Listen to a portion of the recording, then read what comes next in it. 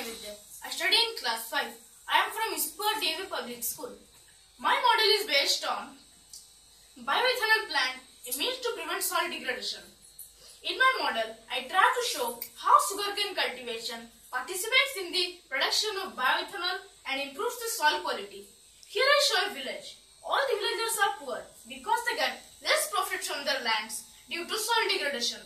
Here is another village. All the villagers are financially strong because they get more profit from their lands by preventing soil degradation successfully.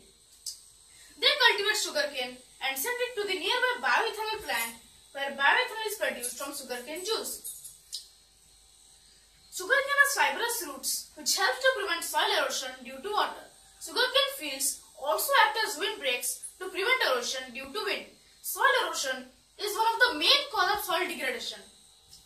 Now I will tell you how to produce bioethanol from sugarcane juice. First, the harvested sugarcane is cut and milled with water which produces a juice with 10 to 15% solids from which sucrose is extracted. The next step is clarification step.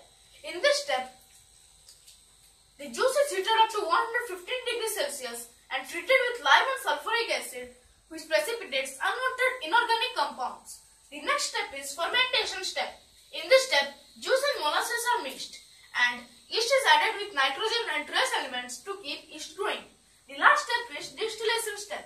In this step, the juice is heated and, and the vapor is cooled to get pure ethanol, which is a petrol substitute for road transport vehicles. After producing bioethanol, we also get some waste materials from the bioethanol plant, like filter cake, vinasse, bagasse, and straws. Filter cake is rich in phosphorus and vinasse is rich in potassium. We can also prepare compost from bagasse and straws.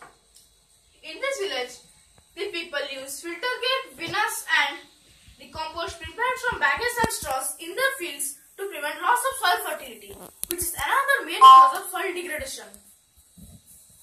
They also use the compost to prevent soil compaction, which is also a also a main cause of soil degradation. It is all about my model. Thank you.